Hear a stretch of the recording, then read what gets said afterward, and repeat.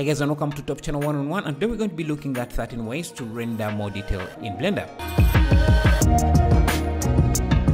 We all love detail shots, but most of the time, more detail means more render time or a lagging viewport. Here are some tricks to use if you want to add more detail to your renders. Number one, cube maps. In computer graphics, cube mapping is a method of environment mapping that uses the six faces of a cube to map an environment background. This is how most HDRI mapping works, but the problem with HDRIs, you don't get as much control as you need. Rotating the HDRIs is tricky and they do not capture shadows or have a ground for your characters to stand on. You can project cube map textures on a sphere and edit it for more interesting visuals. If you want cube maps, there is an AI for generating them via text prompts called Skybox. It also has a new feature where you can draw the details in or you can just get the add-on HDRI Maker to get the same level of control. Number 2. Parallax Mapping Parallax Mapping or Virtual Displacement Mapping is an enhancement of the bump mapping or normal mapping techniques applied to textures in 3D rendering applications and video games. To the end user, this means that textures such as stone walls will have more apparent depth and thus greater realism with less impact on render time. At steeper view angles, the texture coordinates are displaced more, giving the illusion of depth due to the parallax effect as the view changes. Blender does not support parallax mapping by default, but add-ons like WParallax have support for parallax mapping. There are also material libraries that come with parallax materials, so you don't have to worry about how it's going to work in Blender. The add-on will handle that for you.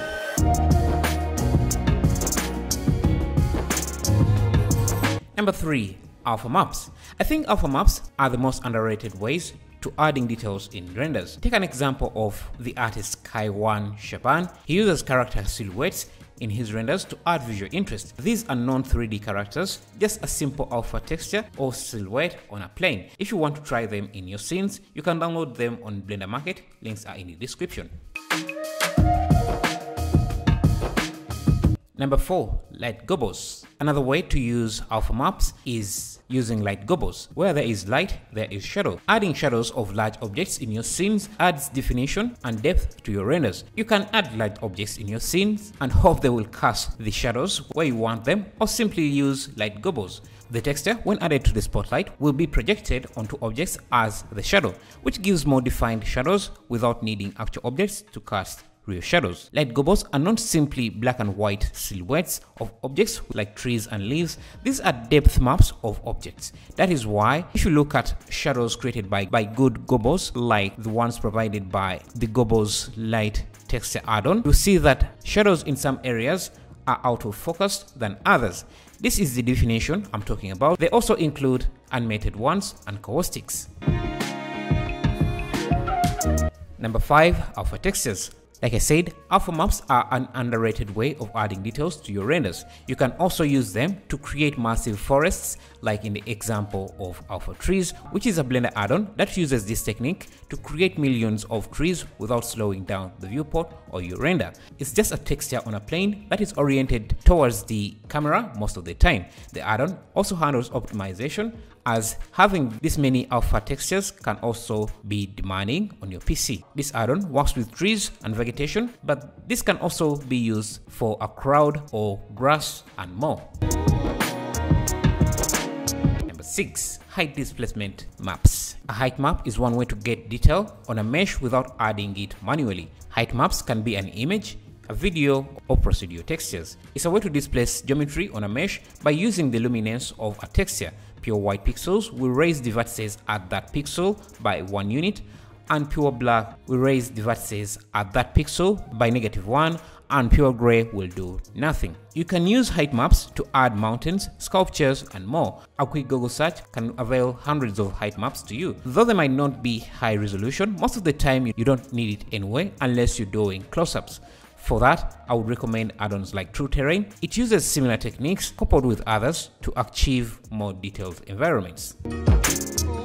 Number seven, we have vector displacements. Like height maps, vector maps displace geometry according to the color of the pixel at a vertex. But unlike height maps that do it in only up and down directions, Vector displacement maps do it in all directions. Another difference between height maps and vector displacement maps is that vector maps can create geometry that falls over itself, something you can't do with height maps. In Blender, vector displacement can be created procedurally in the shader editor or used as a brush in sculpting via VDMs. If you want some amazing examples of shader-based vector displacement projects, check out this bundle from Nodevember, where artists during the month of November challenge themselves to make the most amazing objects using only nodes. Oh.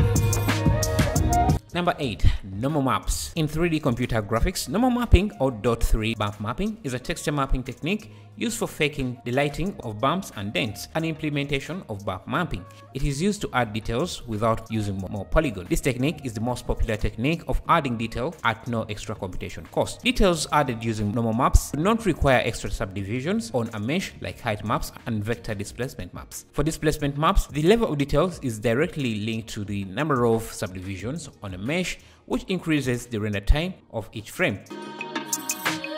Never underestimate the power of a good roughness map. Roughness is used to determine how rough or shiny a surface is. Most shader nodes in Blender come with a roughness input. You can use the slider to input a single value or you can plug in a texture to drive the roughness of the surface. A good roughness map can turn a boring render into one that everyone is obsessed with. If you want good roughness maps, you can search for grunge maps on Google and a few will pop up but make sure you get high resolution maps or the roughness will look weird. Number 10 proxies and imposters. Sometimes rendering a lot of detail is not so much a problem like working with lots of detail. For example, if you're rendering trees, the process of rendering them might be faster than working with them in the viewport, since at any given point, the viewport has to compute each tree in your scene. And for a forest that has tens of thousands of trees, all these trees have to be accounted for when working in the viewport. But at render time, the computer only cares about what the camera sees, which makes computations faster. To make it easier to work while in the viewport, proxies are used in place of trees. This can be a simple plane or cubes or imposters like ones generated by the Instant Imposter add-on. This add-on generates a low poly version of the tree, which looks identical to the original one and can be used as proxy in the viewport or as the final version since it retains most of the detail from the original tree.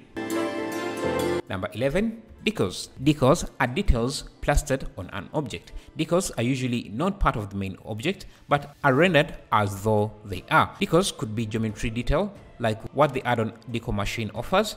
The decals itself is a texture on a plane rendered to look as actual geometry part of the main object. The decal machine add-on does a great job at this and their decals come with parallax shading supported, which makes the decals look fused to the object. There are also texture decals like what my add-on Quick Decals provides. These are details for adding quick texture effects like water damage, posters, and more. This is a great way to add detail without UV unwrapping or spending a lot of time in Photoshop. Number 12. Texture painting. Sometimes especially for sterilized renders, a great way to add detail is not to model it, but paint it in.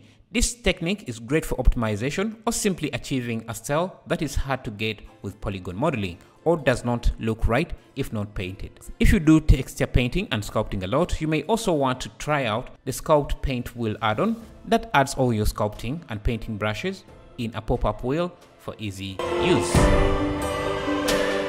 Number 13, render optimization. While proxies are great for, for, viewport optimization, there are other ways you can optimize your project for less render time.